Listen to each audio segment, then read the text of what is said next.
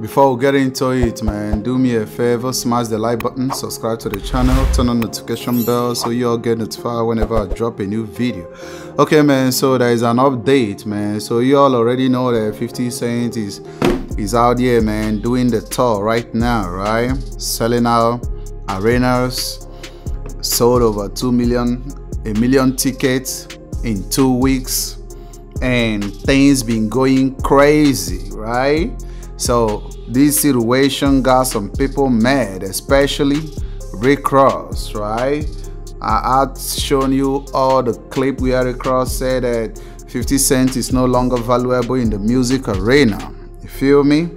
And he said that, he said because 50 cannot make a new song, he cannot make, you know, his song to save himself and all that talking, right? So it happens that 50 just shocked everyone, right? Everyone is in shock. Like, how can 50 Cent sell 2 million tickets in two weeks, right? And he sold all these tickets with an album that came out 20 years ago. Man, that's the magic, right? That's a miracle. Trust me, man, that's a miracle. So 50 Cent responded to Rick Ross, right? And these what the street news said, man. They said that 50 Cent allegedly told Ross to go do a world tour and sell a million tickets in two weeks before he come talk about who's more valuable in the music arena. crazy, right? Yeah, real crazy. Man, you, you all have to know, man, that 50 Cent remains unbeatable, right? He remains unbeatable because I've seen I've seen uh, clips where Rick Ross said uh, he doesn't respect a dude that sold 35 million records, all that stuff, all that talking, man. I'd be like, no, man, this man is probably heading on 50. I know the guy a lot of problems, man. I know that, you know, they had a lot of issues going on between them from back in the days, man. Their beef has been so hilarious and stuff like that, but, you know, you can't take away what your enemy has. Trust me, right? Whatever your enemy has, man, you can't take it away. Trust me, man. Like, if they are successful, you don't like them, it doesn't stop their success. If they are legendary, you don't like them, it doesn't stop their legendary, man. Like, you can't stop them. Feel me? Only God can stop them.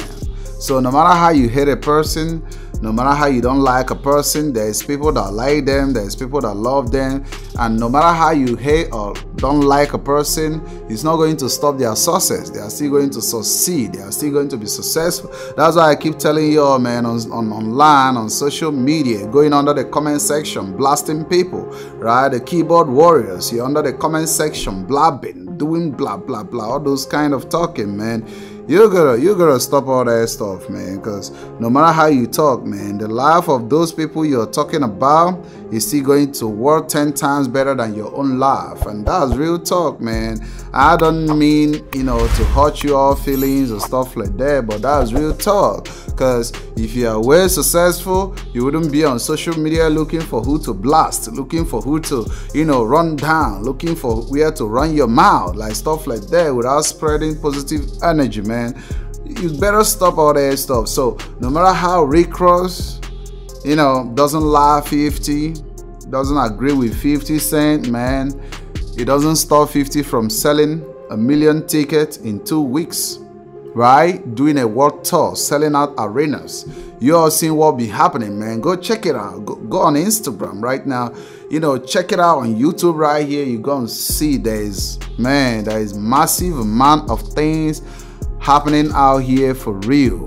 You get what I'm saying? So that's how it goes, man. So we better accept the fact that people that we don't like, man, they're still gonna be successful despite work. Cause I know for real, man, there's no way that you can pick uh Rick Ross above 50 cents, right? There's no way Rick Ross can sell a million tickets in two weeks just like 50 Cent did. No, man, he can't do that. If he can do that, let him go and do it. Jay Z can do that. Trust me. I don't know. Jay Z can do that, man. Rick Ross can do that. I don't know any rapper that can do that right now. Lil Baby canceled shows because of low ticket sales. Moneybagg Yo canceled shows because of low ticket sales. And we are talking about who is more valuable in the music arena.